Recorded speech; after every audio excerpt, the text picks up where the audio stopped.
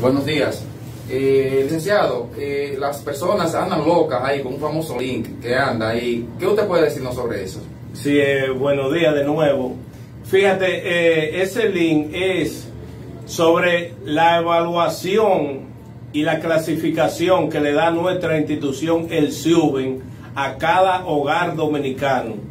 Eso quiere decir que lo evaluamos y le damos su clasificación. Nosotros no lo mandamos a ninguna institución a que vayan a retirar dinero ni nada. Eh, esa persona lo que tiene que hacer es esperar que de supérate lo llamen para entregarle la ayuda que en realidad eh, ese hogar se merece.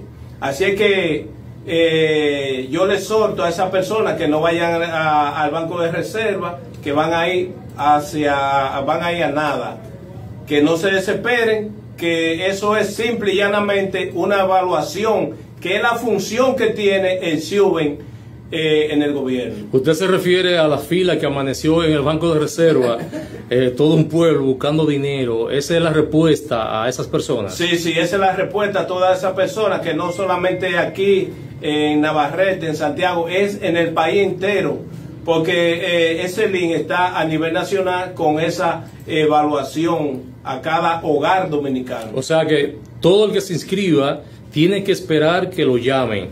Exactamente, la persona se inscribe y nosotros como institución, que es el SIUBEN, eh, le evalúan y le da la calificación a ese hogar. Pero dicen algunos que tienen 5 mil, 4 mil. No, no, no, no, no, no, no, no, no, no. El SIUBEN simple y llanamente evalúa, no, no le pone la eh, cantidad ni nada. Nosotros so- solamente lo clasificamos en ICB1, ICB2, ICB3 y ICB4.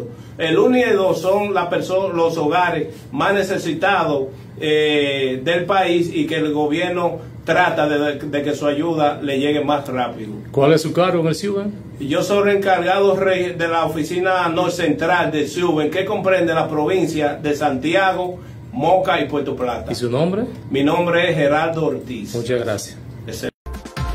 La verdad de la noticia.